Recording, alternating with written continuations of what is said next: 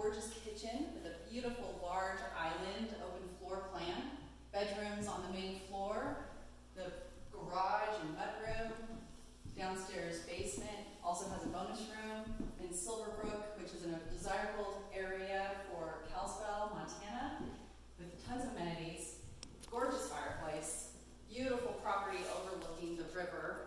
So I'll be having an open house on Sunday, 1 to 4. I hope you can join